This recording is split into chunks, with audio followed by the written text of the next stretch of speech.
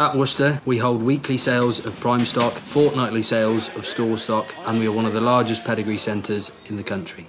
We sell up to 3,000 fat sheep weekly, along with 1,000 to 2,000 stores fortnightly. We attract stock from a large radius, from Lincolnshire to South Wales to Devon. Our prime and store cattle numbers have expanded significantly over the past two years, selling 100 plus prime cattle weekly and up to 500 store cattle a fortnight. Our store sales are strongly supported by buyers for all categories of stock. We believe in a proactive and modern approach to procurement and livestock marketing, whilst retaining traditional principles and providing a sociable, friendly environment for all generations.